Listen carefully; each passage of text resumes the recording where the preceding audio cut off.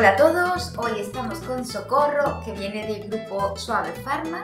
Eh, nos va a venir a contar un poquito, bueno, vamos a preguntar dudas y eso de, nuestros clientes y, bueno, y nuestras, eh, sobre, pues eso, eh, probióticos, el estrés que nos acompaña en el día a día, subida de, de defensas, antivíricos, un poquito de todo. circulación, ¿no? Todo esto.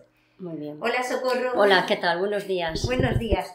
Mira, pues yo principalmente, sabes que estoy enamoradísima de un producto tuyo, que te hablo de él, eh, que es para los, eso, el estrés del día a día. Cuéntanos un poquito cómo funciona este producto y... Bueno, eh, creo que te estás refiriendo al Bitango. A ver, os cuento un poquito las principales eh, propiedades de, de este producto. A ver, el Bitango es un extracto de una planta que es la rodiola rosea, que viene estandarizado. Un poco eh, me gustaría indicaros que también es importante para explicarle a los clientes de la farmacia eh, la diferencia que hay hoy en día en la fitoterapia, en las plantas, entre un complemento y un extracto estandarizado de una planta, que ya viene como MTP, que sería un medicamento. Eh, a ver, la estandarización es muy importante porque lo que te permite es que tengas una trazabilidad de dosis por comprimido y por lote de producto. Es decir, que hay un conocimiento total del principio activo y lo más importante también de los coadyuvantes que manejas en cada comprimido. Eh, daros cuenta que muchas plantas traen contraindicaciones. Eh, ¿Por qué? Principalmente porque eh, todo es cuestión de dosis. Entonces, normalmente siempre hay una cantidad diaria recomendada.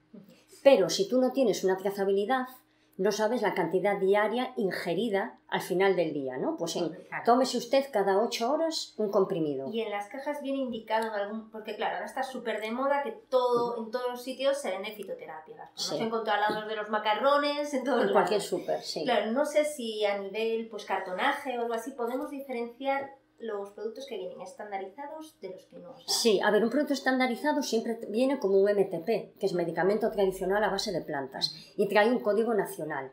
Entonces, en el caso del Bitango, en su cartonaje tú puedes ver MTP eh, estandarizado Sí. ¿vale? y un código nacional. Un complemento, una planta no estandarizada, te vendrá como un complemento. Ajá. Ya es otro tipo de IVA, es otro tipo de, de, Vale, a ver, de legislación, ¿vale? Porque, Porque los aparte... O sea, sí que los controla sanidad, ¿no? O sea, Sí, hay un, claro, están totalmente controlados, tienen un perfil de seguridad y además son exclusivos de Canal Farmacia, ¿vale? Un MTP no podría ir a una parafarmacia, a un herbolario y los complementos, como tú dices, pues desde grandes superficies, parafarmacias eh, y todo tipo de canal, que no Sí, es exclusivo del Claro, vuestro. Nosotros sí que tenemos visto a veces gente que, claro, tú no tienes por qué saber lo que no es lo tuyo y entonces pues que cogen, yo qué sé, una, Sí. un hipérico Sí, y que tiene un montón de efectos secundarios y... claro, a ver, pero eso pasa, por ejemplo, a ver, como la equinacia. Vale, pues la equinacia, digo la equinacia porque está muy de moda cuando Sí, llega el invierno, ¿no? Pero la equinacia hay público que no podía tomarla. Por ejemplo, marcadores tumorales o gente que pasa por procesos de quimio, porque los altera. Entonces, a ver, eh, eso es lo que diferencia también un poco a una farmacia de otros canales, que tú puedes dar ese consejo demostrador. A ver, y ahí, aunque venga en el cartonaje, por ejemplo, en este caso del Bitango especificado, tú sí puedes explicarle, mire, la diferenciación con este producto Sí. viene controlado por sanidad a pesar de ser una planta. Las plantas al final tienen efectos secundarios, no puedes manejarlas de cualquier manera. Eh, Yo creo que aparte el problema que es que el médico, o nosotros mismos le preguntamos, ¿tomas algún medicamento? Claro, que la gente no considera las plantas medicamentos. Muchas Claro, y considera que por ser planta no vas a tener un efecto no- eh, secundario al final. Sí, Entonces sí, las tomas un poco como te automedicas, ¿no? Por decirlo así, incluso Por a eso es mejor veces. siempre ir, bueno, acudir en este caso. Claro, a la farmacia y a un consejo. Pero estos productos aparte cómo tienen... tomarlo, cómo usarlo Claro. y cuándo dejarlo, porque no se puede tomar siempre, ¿o sí? No, a ver, yo siempre aconsejo una ventana terapéutica, ¿vale? Dependiendo del producto que tú utilizas. Eh, por ejemplo, en el caso del Bitango, a ver, hay que ver, eh, si, hay que hablar mucho también con la, con la persona que vas a tratar, con tu cliente. Eh, a ver, entonces, es importante saber, por ejemplo, el Bitango es un producto que regula, tiene un doble mecanismo de acción. Eh, a ver, eh, eh, regula el cortisol. ¿vale? Que cuando tú, imagínate, sufres alguna alteración, tus niveles normales se disparan, ¿vale? Y al mismo tiempo lo que hace es que sintetiza energía, ¿vale? De nuestro mecanismo, que es el ATP. ¿vale? A nivel de, una, de las mitocondrias. Es como nuestra central nuclear. Entonces, ¿qué? Eh, es como una energía bajo control. Es un producto que no puedes estar tomándolo continuamente porque va a tratar algo puntual, es decir, de dónde proviene que tú estés alterado. Un problema de trabajo, un problema familiar, una preocupación concreta, porque a ver, el cortisol cuando es problemático es cuando se dispara y dura mucho en el tiempo, como un colesterol. Claro, los síntomas, si tú tienes los niveles altos de cortisol, ¿qué síntomas son los que pueden saltar la alarma? Claro, a ver, puede haber diferentes síntomas. Pueden ser físicos, entonces puedes tener incluso, incluso una fatiga fuera de lo normal, un cansancio, una apatía, ¿vale? Y pueden ser mentales, de estar súper desmotivado, no te concentras, estás cambios de humor, irritabilidad. Incluso puede haber eh, efectos a nivel intestinal, ¿vale? Que aquí podríamos eh, enlazar con probiótico y demás. ¿Por qué a nivel intestinal? Eh, porque imaginaros, una diarrea que no sabes su origen. Es decir, tú le preguntas a la persona. Así puntual, ¿no? Que tengas. Claro. Es que hay muchísima gente que te dice, no, es que yo cada vez que tengo exámenes o una entrevista de trabajo.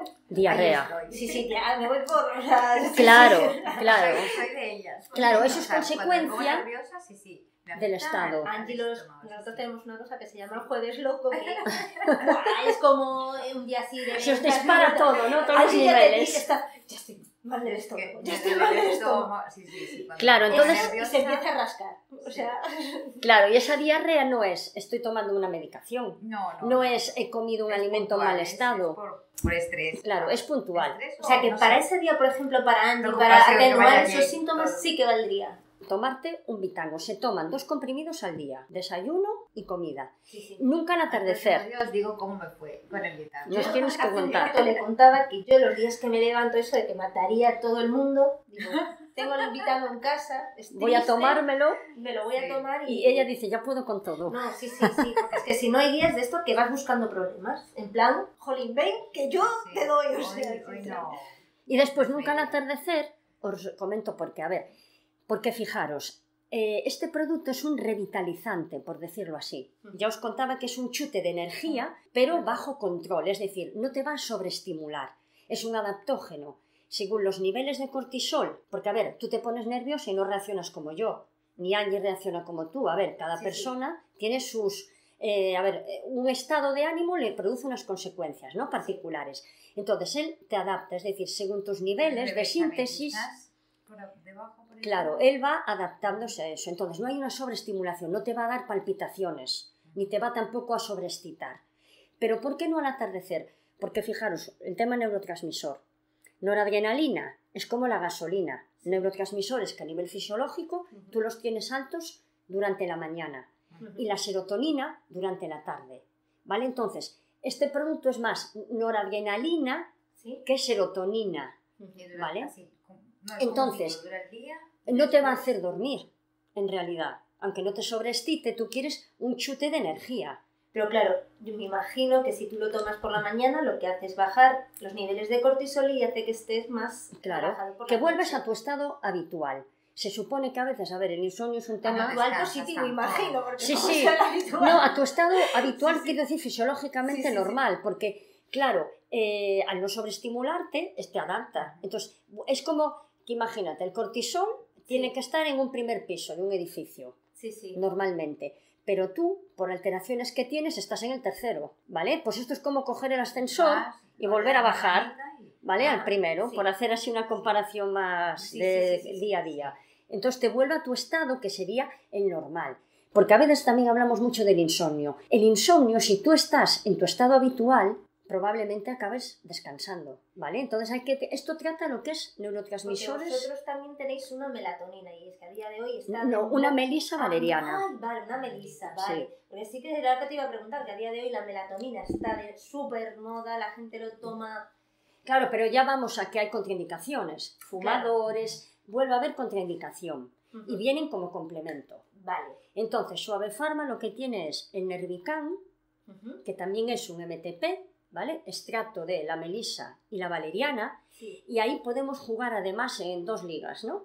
sí, Que es el insomnio, sí. o sea, como inductor del sueño, que entonces puedes tomarte dos comprimidos, pues Ir a dormir. sí, para ir a dormir, pues una hora antes, o al atardecer, que entras en el proceso serotoninérgico, o puedes hacer nervi- tratar nerviosismo, que precisamente la melisa, su gran propiedad es miorrelajante. Entonces, imaginaros pacientes que ya toman una medicación alopática, ansiolíticos, ¿no? Sí, Para dormir. Entonces, pero ¿cómo pasa esa gente el día? A O sea, veces van sí. desquiciados Sí, sí. o van como que no dan, ¿no? que no arrancan. Claro, entonces hay un poco estudiando el caso del paciente, si es origen nervioso, igual que las- una tensión. Cuando gente, hay gente hipertensa, pero son de origen nervioso, puedes darle la melisa como miorrelajante de día. Entonces ahí podrías hacer un comprimido cada ocho horas. Otra cosa es, pero es que el Vitango y el Nervican funcionan Sería contrarios. Es el yin y el yang. Es decir, pasa el día y descansa por la noche. A ver, más que inductor del sueño, yo creo que es como un sueño reparador. No se trata de que si, no, que si duermes cuatro horas con el No, duermes De ocho. hecho, hay varias Claro. pastillas que nos- la que- gente viene a la farmacia y nos dice, mira, es que me levanto con resaca, o sea, fatal. Vale, y tengo la sensación de que aunque dormí, sea, que me haya pegado con 40. Claro, porque, a ver, no vas a hacer eso. Lo que se intenta es lo poco que tú duermas, ten un sueño reparador, ¿vale? Entonces esa función te la hace el Nervican. Funcionan de manera, es como un yin y el yang, de manera eh, contraria, ¿vale? ¡Jo, qué guay! Nada, soluciones para todo aquí. No, sí, sí, o sea... Y mira, también era para preguntarte, vosotros lleváis una línea de probióticos, a día de hoy hay probióticos en el yogur, en las cremas, En todo, en en todo. ¿Qué diferencia vuestros probióticos? A ver, yo con los probióticos PELS, eh, del grupo suave, eh, lo que intento transmitirle al cliente es que eh, en cepa, a ver, las cepas, a ver, las cepas bacterianas, un probiótico son cepas vivas, ¿vale? Sí. De bacterias. El concepto aquí importante es vivas, es decir, que lleguen en mayor número posible la supervivencia al intestino, si no, no vale para nada. Claro, porque si- eh, yo muchas veces lo que veo es que la gente piensa que el probiótico se absorbe en el estómago. Claro. Y no es ahí su lugar de acción. Claro, a ver, y además que, eh, ¿cómo os explico yo? Nosotros aportamos la tecnología que te permite una supervivencia. Del hech- de hecho, en la publicidad ponemos, la diferencia está en la perla. 100% llegan vivas al intestino. Las cepas, todas las marcas comerciales usamos las mismas y eso tiene su lógica. Si tú estás diciendo que son cepas vivas de bacterias que además ya tenemos con nuestra madurez intestinal, Ajá, lactobacillus bifidum, claro, puede variar que tu dieta no es la mía y puedes tener más una población que otra, pero no vale de nada si tú me dices, no, mira, es que este producto lleva 80.000 unidades formadores de colonia, vale, supervivencia, ¿Y cuántas llegan vivas? Claro, ¿cuántas saber? Bueno, ¿cómo saberlo o Porque, cómo claro, tomarlas? Las cepas se mueren en el medio ácido. Claro, estómago. Claro, porque normalmente los probióticos te dicen, preferiblemente en ayunas, ¿por qué? Porque tú, el hígado trabaja durante la noche, es como que te desdosificas, ¿no? Sí. Depuras. Es cuando más básico estás, en ayuna, tomas como cuando haces las analíticas. Sí. Entonces te dicen, o preferiblemente en ayunas, o espaciarlo dos horas antes De comer. algo, de, ¿no? sí, de- de alimento o de medicamento, De medicamentos. como un Ah, antibiótico, ¿no? Si muchos de vosotros pautáis algún probiótico que decís, mira, si tomas antibiótico, de deja que pase, sí, o una hora y algo. ¿Por qué? Lo que comentabais, el gran enemigo de las cepas es el pH. El estómago, tú te tragas el probiótico, lo primero que encuentra, estómago, Ujú. acidez brutal. Claro. Entonces, la- con la tecnología de la perla, que eh, las cepas vienen en una triple capa de encapsulación, donde la primera, que es gelatina y pectina, ese pH ácido la destroza. Sí. Pero después, las otras dos son una mezcla de aceites vegetales, que lo que forman es un liposoma. ¿Qué quiere decir eso? Para que me entendáis, es como una burbuja. Que Dentro va la cep- van las cepas y las conducen hasta el intestino. Como las capitas de la cebolla, ¿no? Lleva. Va- se va... Claro, vamos poco a poco, se van degradando, pero cuando llegan ahí, la, la burbujita esta de aceites no desaparece así, plas, por arte de magia, sino que hay como una degradación lenta, porque tiene que haber una absorción. Y eso es más lento, o sea, absorbes antes la medicación que de lo que se degrada la burbuja. Eso por una parte. Después, no tiene mucho sentido se- espaciar a un probiótico de alimento, porque fijaros, cepas vivas, bacterias vivas. Cuando las bacterias por fin se degrada la burbujita y se adhieren a tu intestino, nacen, crecen, se reproducen y al final si te pasas mucho la palma y mueren. Claro, claro, quiero decir, sintetizan vitaminas, ¿vale? Es una propiedad de los probióticos, no solo eh, actúan a nivel inmunitario. Entonces, si tú tienes la flora equilibrada, tu absorción de alimentos es muchísimo mejor. Y eh, imaginaros, los lactobacillus acidifican mucho el pH. Pero, ¿cómo lo acidifican? La forma de acidificarlo es que tienen una serie de compuestos de los carbohidratos, por ejemplo, de los alimentos. Ellos utilizan los alimentos para, su metabolismo, que son células vivas, si no, es contradictorio el concepto. Entonces algo no cuadra. Entonces la perla lo único que hace es eso, te permite la tecnología para olvidarte de las dos horas, olvidarte del alimento. Y después yo si voy a una farmacia y tú me dices, ah, mira, te han recetado un antibiótico. Mira, existe un producto que son un probiótico que te permite, si tienes diarrea y como el antibiótico barre la flora, repoblar y al mismo tiempo, y me dices, mira, 10 euros, tómatelo dos horas antes. Yo a lo mejor pienso, bueno, yo voy a trabajar, tal, tengo que ir aquí, tal, dos horas antes, me voy a olvidar. No tiempo. No, sí. Claro, pero, Al final, sí. Claro, pero un señor de 70 años dirá, menudo coñazo. El medicamento es urgente, o sea, este me lo tomo, el otro no voy a... Claro, entonces le facilitas la vida al paciente. ¿Qué le dirías tú a la gente que te dice, no, no, yo ya me tomo el yogur con probiótico? A ver, yo le diría que eh, la leche pasa un proceso de pasteurización, claro, eso explicárselo en un mostrador igual es complicado. Pero claro, la pasteurización se carga la mitad de las cepas yo nunca lo había pensado. que van en el yogur. Claro. Primero. Entonces, después, fíjate en la definición. Un probiótico son cepas vivas de bacterias que suministradas en cantidades adecuadas llegan vivas y entonces tienen un efecto beneficioso. Si te tomas 70 yogures, puede que juntes lo mínimo de efectividad de un probiótico que mínimo mil unidades. Claro. la cantidad de azúcar. ¿Y, cuántas tomarte? ¿De yogur? No. De perla. De yogur ya decimos que tenemos que tomarnos 70 al día, ¿no? Si yo vi una farmacia, algo curioso, que el escaparate era ese. Puso 70 yogures vacíos y ponía esto sería un probiótico. Buenísimo ese escaparate. y el médico del pueblo, pues cuando pasaba el centro de salud decía, madre mía. No, no, ojo, pero yo creo que las cosas así visuales al final son las que nos ayudan. Porque yo la primera, porque yo no me había planteado lo de la pasteurización. Claro. Yo qué sé, quizás que echaba los probióticos después. Claro. Entonces ahí ya te están. A ver, hay mucha parte comercial en, en, ese tema, ¿eh? Más que ahora como científico, que no. ¿Y tú crees que hay cepas que actúan, eh, o sea, quiero decir, para distintas patologías, cepas distintas? Sí, a ver, ese concepto sí que es importante. Al margen de que tú garantices la supervivencia, por ejemplo, en nuestro caso llevamos tres referencias, ¿no? El acidófilus, el IC, que es una fórmula intensiva porque es el que más cepas lleva, que son seis, y el YB, que ya es eh, cuidado íntimo. Sí es muy bueno trabajar el concepto de especificidad de la cepa según la patología que tú quieres tratar, ¿vale? Por ejemplo, en nuestro caso, el PELS YB. Yo a veces en las formaciones lo, digo de esta manera, para explicarlo fácilmente. Es un producto que solamente lleva lactobacillus. El rhamnosus, antidiarreico, el plantarum, antiinfeccioso, ¿vale? Y el acidófilus, que regula pH. Todos los lactobacillus regulan pH. ¿Por qué en el YB solo van reductores de pH, no? Y no van bifidum. Porque, a ver, es un producto que yo en el mostrador lo posiciono mujeres que toman antibiótico y recaen en una cándida. Por ejemplo, es lo más fácil para vosotros. Monuroles. monurol, monurol, monurol. Que, por ejemplo, hay una infección eh, urinaria.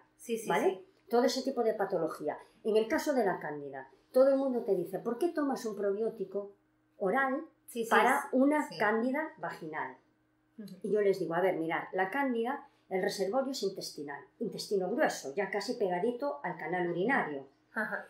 ¿Qué pasa? Que la tenemos todos. Eso tú no lo pillas por una varita mágica. Cuando muchas mujeres toman antibiótico, porque al mismo tiempo igual toman anticonceptivos, eh, pues entonces, ¿qué pasa? Hay un cambio de pH porque el medio vaginal es ácido. Entonces, hay un cambio de pH, el, eh, antibiótico basifica el medio. Entonces, la cándida es como que dice, ah, ¿qué ha pasado aquí? Empieza a sobrecrecer, hay un sobrecrecimiento, se mete al canal y, te infecta. Y ahí te va buscando claro, y, te infecta. Entonces, tú con un probiótico como el, el PELS YB, como los lactobacilos vuelven a acidificar, lo que pretendes es equilibrar el pH. Es como darle la orden a la cándida, venga amiga, vuelve al intestino, que aquí ya vuelve todo a la normalidad. Sí, sí, sí. Entonces, claro que es muy importante el concepto de especificidad de cepa. Ahí no necesitas tanto un bifidum, ¿vale? Claro. Por eso es importante cuando hay cándidas tratarlo a nivel local, pero también... Claro, puedes dar algo vaginal, puedes dar un tratamiento vaginal, pero a nivel intestinal, Claro, como su reservorio es ese, que es de donde viene, la raíz del problema, trátala con intestino. Es igual que las dermatitis, ¿vale? En nuestro caso, el PSIC, sabéis que lo estamos posicionando para antibioterapia porque es un antidiarrico por excelencia. Sí. Pero este ya lleva seis cepas, tanto lactobacillus como bifidum. Pues aquí, eh, a ver, eh, hay dermatitis, es como una segunda intención de patología, pero el inicio está en el intestino. Tú puedes dar una vía tópica para la, para la dermatitis, pero la parte inmunitaria, Sí, el terreno, ¿cómo lo tratas? sí. Con un probiótico. Pero yo creo que hasta ahora no se le daba importancia al intestino y pues, el No. intestino es como el motor del cuerpo, da la sensación un poco. Claro, a ver, es como, a ver, eh, yo he dado alguna formación que eh, era el intestino como pilar de la salud y fuente de muchísimas patologías, las artrosis, a ver, es un mundo. Pero a ver, tiene, su- tiene sentido porque el 80% más o menos de la inmunidad está a nivel intestinal. Después, mira, fijaros, intestino, segundo cerebro. Segundo Los receptores de la serotonina Ese- están en el intestino. O sea, cuando quieras Sí, enamorar a alguien o hacerlo feliz, Claro, ya sabes, hay trucos para todo. Sí, sí. Pero bueno, eso de saber, yo creo que mucha gente no lo sabe, y yo incluida, ¿eh? la primera, eh, que, que problemas de, o sea, de piel vienen a nivel también Claro, si tú miras para atrás, es que claro, a ver, aquí hay mucha tendencia a enmascarar las patologías. Tratamos solo el síntoma. O sea, no, y eso, y, y Y- nada más. y la si raíz del problema no. Sí que claro, es y que después de- puede volver a aparecer, ¿no? no, de hecho Sí, para la no. psoriasis incluso Claro. ahora se están tratando a nivel... Sí. Sí, a nivel, por lo menos de base, un probiótico. Y después tú puedes tratar una vía tópica, Claro. dependiendo el síntoma que te, que te produzca. Y para las madres que están medio locas con los cólicos, con eso, ¿también tenéis algún tipo de probiótico Sí. que les puede ayudar? A ver, nosotros ahora, renovarse o morir, a ver, como la perlita había que tener capacidad de deglución, ¿vale? Niños a lo mejor a partir de tres años o que ya tragan, pues hemos sacado un probiótico infantil nuevo que se llama Mamá Natura, que es nuestra línea pediátrica, eh, Reuteri Plus. Ujú. A ver, eh, ¿qué se diferencia este de lo que hay en el mercado? Eh, a ver, lleva dos cepas, ¿vale? Lactobacillus reuteri y Lactobacillus acidophilus.